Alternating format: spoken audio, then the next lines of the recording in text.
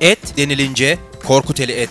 Profesyonel kadrosu ile kendi entegre tesislerinde tüm hijyen şartlarına uygun olarak kesilen Korkuteli ve Elmalı yaylalarından aldığımız büyük ve küçükbaş hayvanlarımızın kekik kokulu etleriyle sofralarınıza geliyoruz.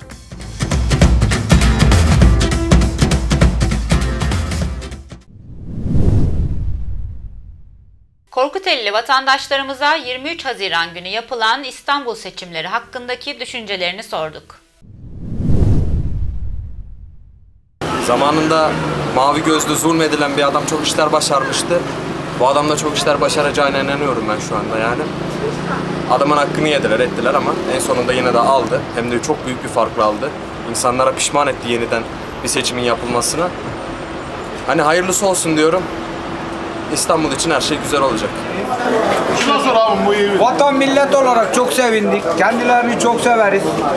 Vat inşallah Türkiye'miz için hayırlı uğurlu olsun kardeşim.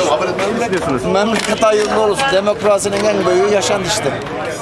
Şimdi Ekrem İmamoğlu İstanbul'a bu zamana kadar gelen, en büyük farkla gelen İstanbul Başkanı oldu. Herkesin sevdiği birisi. Neden sevdiğini de kendisini göstereceğine çok inanıyorum. Yani bekleyeceğiz. En güzel şeyleri, her şeyin güzel olmasını sağlayacak. Her şey çok güzel olacak. Halk için bence hayırlısı oldu diyelim. Hani Ya ilk başta 31 Mart seçimlerinde 13 bin oy bir farkla kazanmıştı. evet Ee, bazı gerekçelerden dolayı seçim iptal edildi. 800 bin gibi bir fark attı. Sizce hak etti mi bu sevgiyi? hak etmese zaten hani bu sevgi hak etmemiş olsa 700 bin fark atamazdı bu seçimde. Bence halk biraz daha hani aydınlanmaya çalıştı bu seçimde. Ona benzer ilişkiler içerisinde kalmış olabilirler bilemiyorum tam olarak.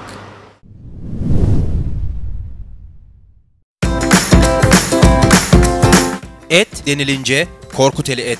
Profesyonel kadrosu ile kendi entegre tesislerinde tüm hijyen şartlarına uygun olarak kesilen Korkuteli ve Elmalı yaylalarından aldığımız büyük ve küçükbaş hayvanlarımızın kekik kokulu etleriyle sofralarınıza geliyoruz.